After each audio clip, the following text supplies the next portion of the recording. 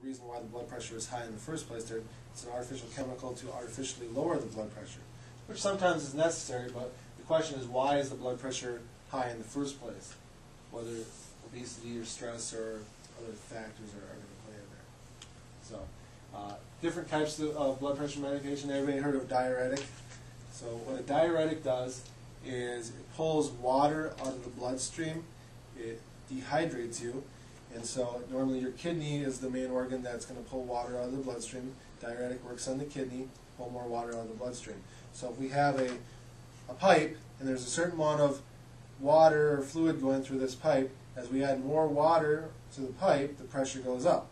You take less water out of the pipe, the pressure goes down. So by pulling water out of the bloodstream, the blood pressure goes down, which is okay. Um, but the question is, don't we need water in our body? Our body is 70% water. A lot of different organs require water to function, uh, especially if we want energy. Uh, well, we need water to, to, help our body break down food. So water is actually important.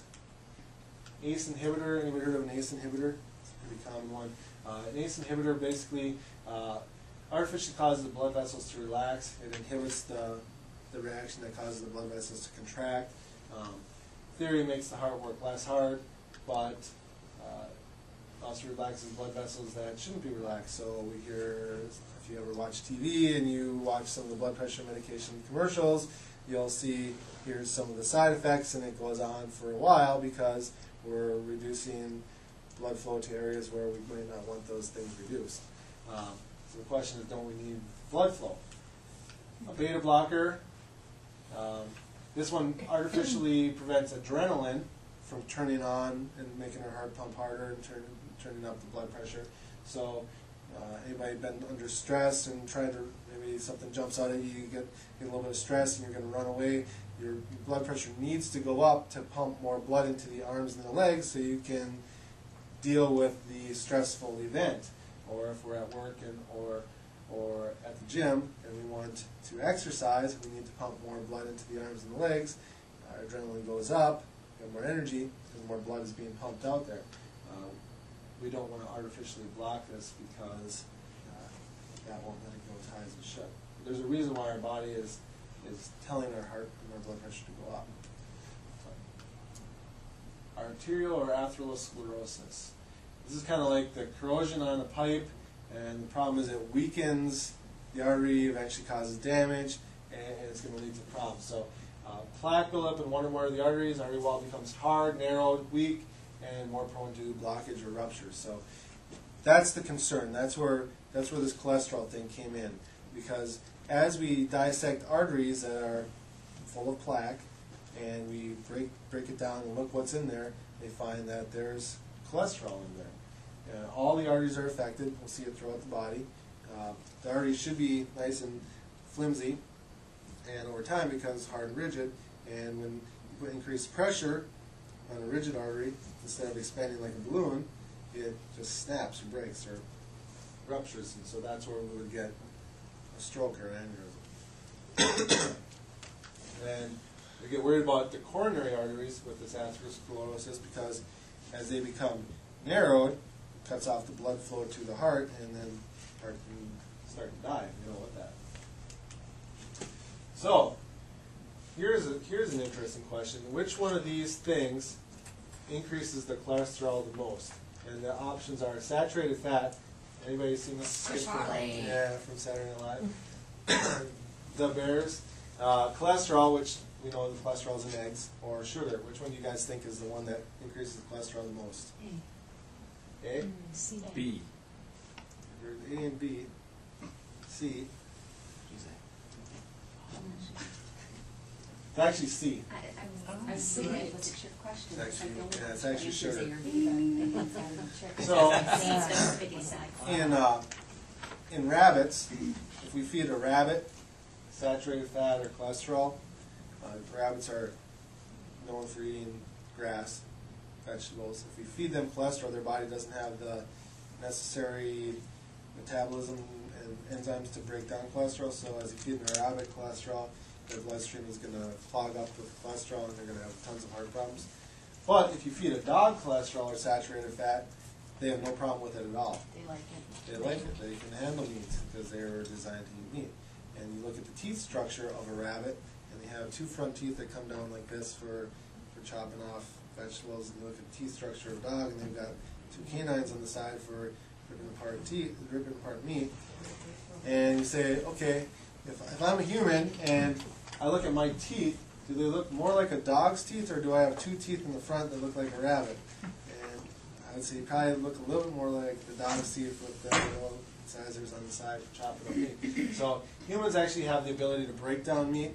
And a lot of the studies that were done on the cholesterol, they were done on rabbits, that was where it was originally, originally found that as you feed a rabbit, cholesterol blocks their arteries. And they did the same study later on the dog, and they found out it has no effect. So if your body's working the way that it's supposed to, you should be able to have cholesterol floating through the bloodstream and not causing any problems. It's, it has a job to do. It's, it's supposed to be in there. But if there's damage to the artery, that's where the cholesterol starts to stick. So we want to learn what is going to cause damage to the artery, what's going to cause that cholesterol to, to stick there. So the body actually makes most of the cholesterol it needs in a day. It's made in the liver. It makes HDL, it makes LDL, the two different kinds of cholesterol. Um, it's found in animal tissues. It's a component of the cell membranes. So as we eat meat, there's cholesterol in there. Body requires cholesterol. Anybody heard this before? That we actually need cholesterol to function? Yeah. So it's part of our cell membranes. It's uh, it's used by the body for healing. So in an artery, as we damage the artery, if we nick an artery or we injure an artery, cholesterol is what goes in there and actually repairs the artery. It's what stops that damage or sticks to the damage and, and heals. Just like if we cut our arm and we get some scar tissue on our arm, we heal that, that scab. Same thing happens on the inside of the, the arteries. As we damage the artery, the cholesterol sticks there and it's actually part of the healing of the scab that forms. Uh, we need large amounts in our brain for brain function. So for kids, they say up to 50% of the brain uh, is required, requires cholesterol for brain. Uh, it's vital for proper nerve function. So along the nerves, we need cholesterol for the nerves to work right. Uh, we need large amounts for, for the skin to protect us from toxic substances. We in the liver to help break down fats. And all of our hormones are made out of cholesterol. So when we learn about hormones and hormone problems and burning through hormones, all these hormones are made out of cholesterol. Vitamin D, in order to make our vitamin D, so we're exposed to the sun, our body makes vitamin D. In order to convert sunlight into vitamin D in our body, we need cholesterol. That's what vitamin D is, is part of. So we need cholesterol to make vitamin D. We've heard all the new good things coming out about vitamin D. So very important. So there's a little bit of controversy over over some of these medications and and how important is it for with cholesterol. Bottom line, lots of profits, profits in the billions for selling for selling medications for cholesterol. So there's there's there is an ulterior motive out there, and it's making money. There's a lot of money to be made on cholesterol drugs. Um, one of the top sellers in the, in the world right now. Um, cholesterol lowering drugs can damage the body. One of the primary things that these drugs do is they mess with our CoQ10. Has anybody heard the word CoQ10 before? So normally our body will, will be able to use CoQ10 and manufacture it. It's made in the liver, broken down in the liver. It's, it's what kind of supplies energy to our cells. In the heart, there's twice as much CoQ10 as any other part of the body. So we need CoQ10 for our heart to function. Well, when we start to take cholesterol medications, it, it can damage our liver's ability to process this CoQ10. So up until about the age of 25, we really don't need to supplement much with CoQ10 because our body can make and handle CoQ10 just fine. But as we age, between the age of 25 up until 80, our body slowly loses the ability to metabolize and use that CoQ10. So as we age over the